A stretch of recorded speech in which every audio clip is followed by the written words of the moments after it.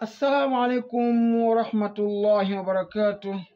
Alhamdulillah, alhamdulillahi rabbil alamin wal aqibatu lilmuttaqin wala udwana illa ala dhalimin. Amma ba'd, ndugu zangu watukufu watazamaji wa chaneli yenu pendwa ya Alhidaya, tunaendelea kueleza ubora wa mwezi mtukufu wa Shaaban na kwa sababu tuko karibu karibu na nusu ya Shaaban, tuielezee siku ile ya nisfi Shaaban ambayo kwamba ni usiku mmoja bora mno unaoitwa Lailatul Baraa.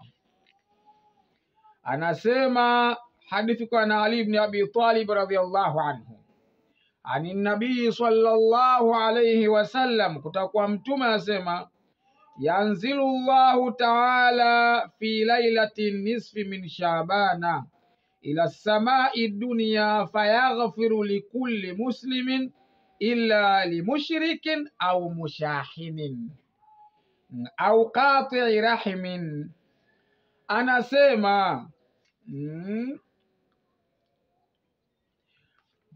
anateremka Mwenyezi Mungu subhanahu wa taala katika nusu usiku wa nusu ya Shaaban kuja katika mbingu ya dunia, na makusudio yake fayaghfiru likulli muslim, mm, humsamehe kila Muislamu illa limushrikin, isipokuwa watu wawili hawa, illa limushrikin, ila aliyemshirikina au mushahinin au mtu mwenye ukorofi, mushahinin, mtu mwenye kugomvi na ndugu yake kiasi kwamba hawasalimiani hawasemezani.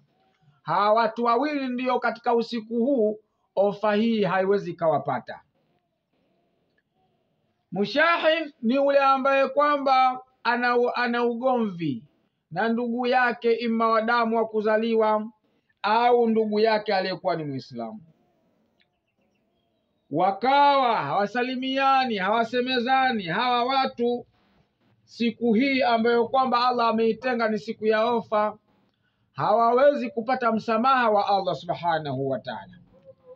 Wito wangu kwenu ndugu zangu, kila mmoja afanye himma, ajitahidi. Ikiwa ana ugomvi na ndugu yake, basi afanye sulhu kabla ya nisfi Shaabani eh, kumkuta akiwa na hali kama hiyo.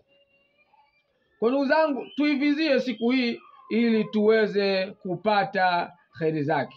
Kwa machache hayo yatoshe. Wabillahi taufiq, wassalamu alaikum wal afwa minkum wa ila liqa.